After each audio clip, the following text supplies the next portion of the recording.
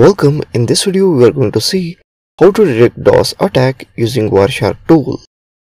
So let's see how to do this.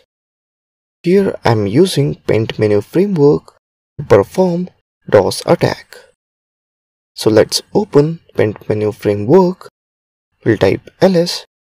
Here are the content of PentMenu framework. Now to start I will type dot forward slash pentmenu. Here are the options of the tool. Now select option 2 which is DOS attack. Here is the list.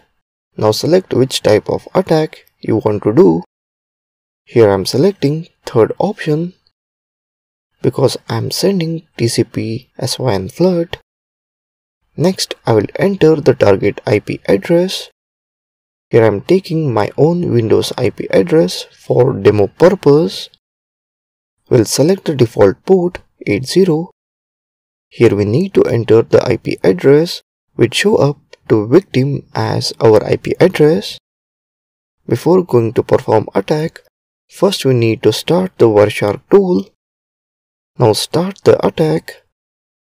As you can see the attack is started. Let's check in Wireshark Windows. Here you can see the packets are capturing.